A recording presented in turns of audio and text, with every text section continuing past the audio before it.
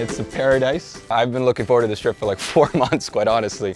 And this is the first time I've seen something like this. This is the Reef Quest. Especially with luminaries like Andre or Mitch, they know what they're doing and it's, it's really helpful to come out here in their playground and learn about it from them.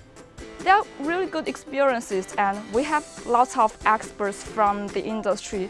Uh, my roommate, she, she is a geologist in a small company. By talking to her, I've known a lot about what is happening in the oil and gas industry and how we should uh, prepare ourselves well for our future career. The mission of the program really is to give an opportunity to science students in geology uh, who are not interested in doing research to stay in geology or geophysics.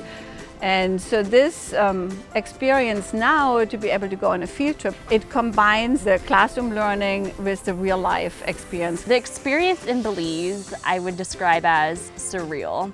It doesn't feel like I'm taking a course right now. It just feels like I'm on a trip with my friends. We're all very close knit, we all know each other, and we're just enjoying the geology, the rocks, without any added pressure. I'm from a huge state school where um, I didn't really know my students I was with in most of my classes very well. I didn't know the professors at all. So this is really, when I think of a Rice University experience, it's a field trip like this, where everyone's really close-knit, everyone knows each other. And you can actually talk to your professors and interact with them on a personal level. So this trip is very characteristic of Rice.